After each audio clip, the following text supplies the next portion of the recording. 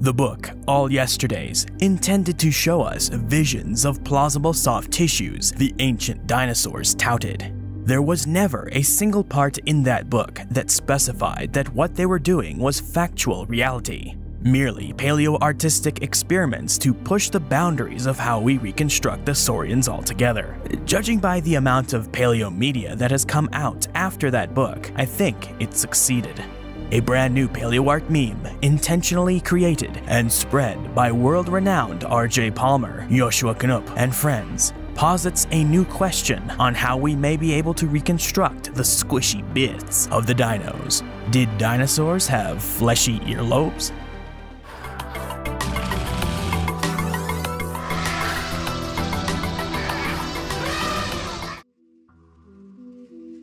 When it comes to reconstructing extinct life, some liberties have to be taken. With that said, new advances in technology and techniques, plus new fossil finds, have blown open the doors, so to speak, on the extent to which we can or should reconstruct the soft tissues of dinosaurs and other extinct animals.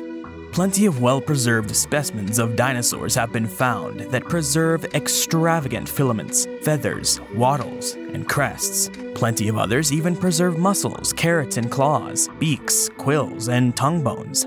Then, if we take our attention to the world of the living dinosaurs, the birds, we will see an extremely complex and diverse array of feather types, colors, textures, lengths, shapes, fleshy combs, wattles, wrinkled ballsack things, little worm stashes, inflatable boobies attached to the throat sacs, head crests, neck wattles, inflatable neck balloons, and so many more that I could go on for 5 minutes. If there is such a high diversity in this one group of highly derived theropod dinosaurs, then why would anyone in their right minds think an even bigger diversity in visual structures did not splatter the heads, necks, chests, and bodies of the other dinosaurs? The pterosaurs? The weirdo archosaurs that were more like birds than crocs or even lizards? All of this was the basis for the 2012 book All Yesterdays by Dr. Darren Naish, John Conway, and C.M. Kosemen. I have a two part series thoroughly exploring this book, so if you want to explore that, go watch those videos. It is chock full of hypothetical ways of reconstructing dinosaurs and pterosaurs using educated inferences based on the known skeletal anatomy of the subject, of the art, and known anatomy of modern relatives.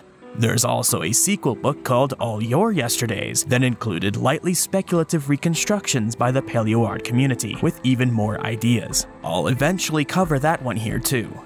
The ultimate payoff from this book has been an opening up and loosening of the reins towards paleo art.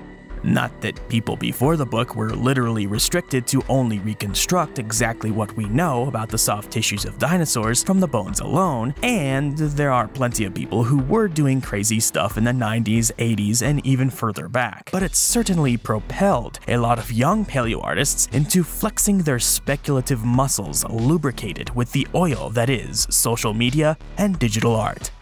I will add that another ultimate payoff for this book was Apple TV Plus's Prehistoric Planet, as it takes every major point made in All Yesterdays and puts it into practice.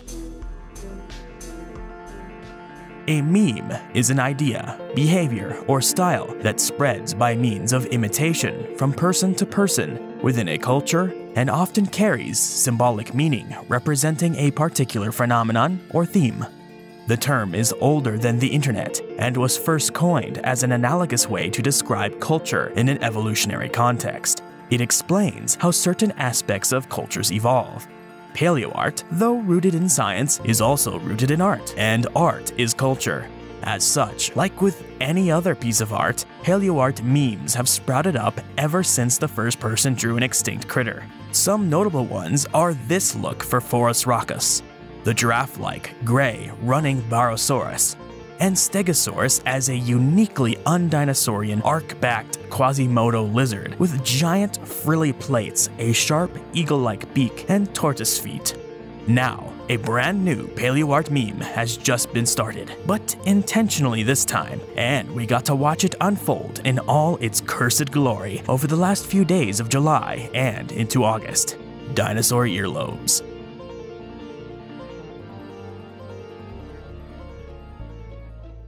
So, shocker, dinosaurs have ears. I won't get into the nitty gritty of the anatomical structures within the ears, as they were not super different from modern archosaurs.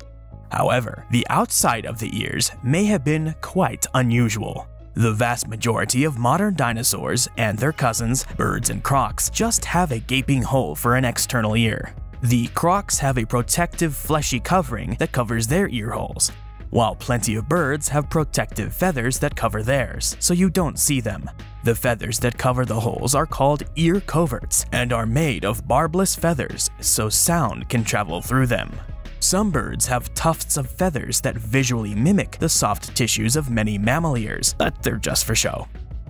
Now we come to the weirdos. Some birds, mostly those that have wattles, combs, crests, and other weirdly textured bare skin on the necks, chests, and faces, also have a stretch of soft tissue in the vicinity of the ear hole. Now, these things are referred to as earlobes, but neither function as they do in mammals nor are evolutionarily related to them.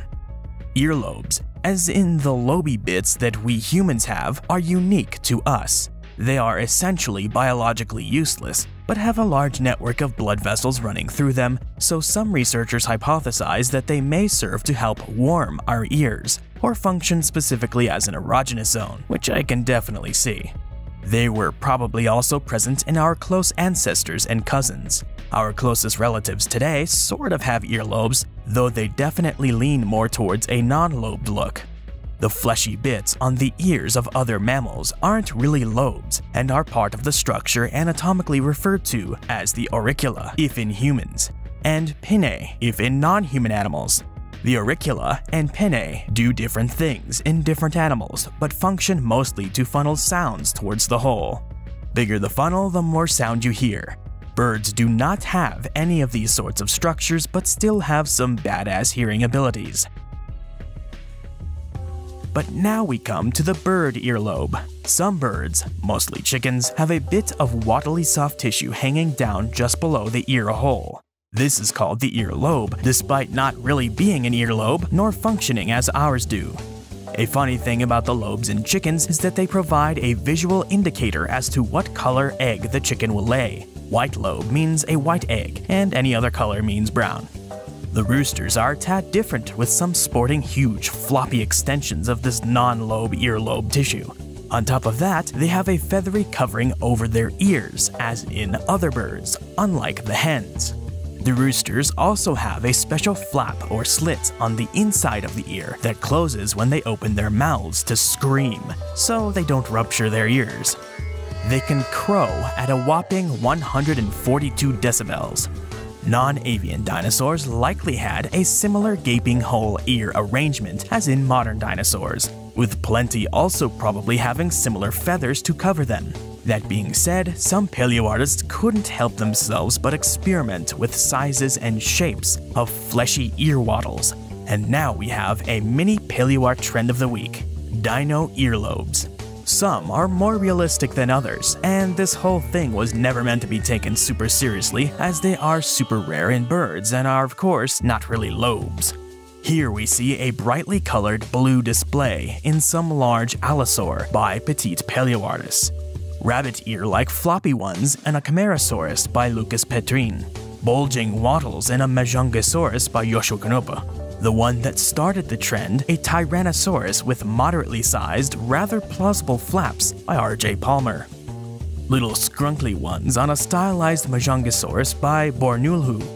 Ones reminiscent of a type of stork on a con by Brennan Stockermans. Another Majungasaurus with a pair of floppers by a fancy dinosaur and then a few that are intentionally jokey, Jar Jar Binks fins on an Edmontosaurus by Digital Duck or Max Bellomio a pair of clackers or knockers on a Tyrannosaur with added cursed sound effects by Steve Mob Cannon. There's this Carcharodontosaur with blurple earlobes by Fishboy. This Slinky Raptor with red strips by Lynn Joyce. These two sketches of a Spinosaur and a Tyrannosaur by Fiasco Gabe. This assortment of dinosaurs with variously cartoony ears by Jim Madsenai. This very blue Sinotyrannus by M. the Turkey and finally a Bajadasaurus with almost mammalian lobes by Oribeck. The thing about roosters and their ear protection may mean that the loudest non-avian dinosaurs would have been the most likely to have some sort of ear-like tissues for protection. But that's all speculation. Wonder what the next paleo trend will be. Stay tuned. For more interesting stories about nature, the history of life, or what goes bump in the night, subscribe, hit the bell icon for updates, like this video, and drop a comment in the comment section below. Thanks for watching. Special thanks to my elephant tier patrons Arda Bear, Biotiverse, Christoph Hubinger, Dinosaur, Isaiah Garza, PA Brew News, Ray, Rudy Redgrave, Smiling Walrus, and another thanks to my Tyrannosaurus tier patrons. Iberospinus, Iron Bladesman, Swaffles is Weird, Teeny Dragator, The Dogman,